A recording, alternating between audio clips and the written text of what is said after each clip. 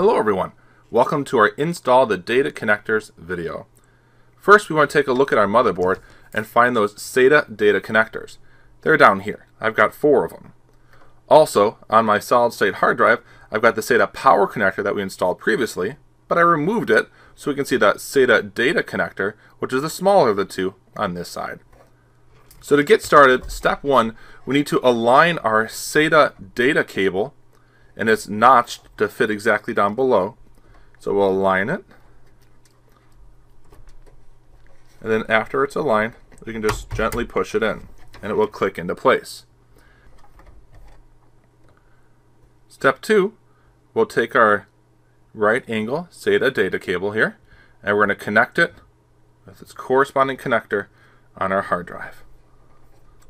So we align it up, then we can press it in.